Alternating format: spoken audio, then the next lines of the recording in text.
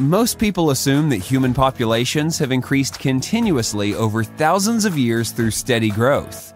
This graph, which you've likely seen before, would seem to support that assumption.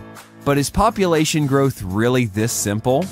Human history tells a different story, one of population booms and busts.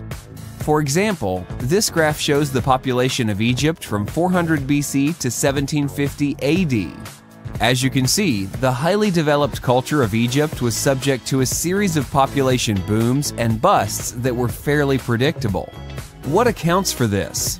One clue is found when we add the amount of arable farmland per person during each population boom and decline. The names and locations may change, but the basic pattern varies little. First, humans encounter a rich resource base and build a thriving civilization.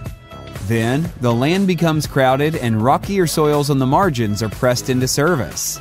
At some point, there is a change in climatic conditions and food production declines. Finally, there is a resource crisis leading to mass migration, starvation, and conflict.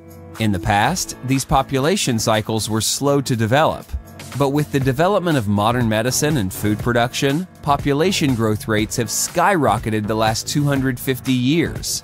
Population cycles were also regional and largely confined to environmentally linked regions as local markets and climate fluctuations led to isolated declines or booms.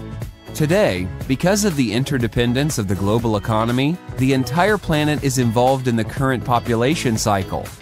It is important to realize that the tremendous growth in population globally over the past 250 years is not different from previous regional growth spurts of ancient civilizations.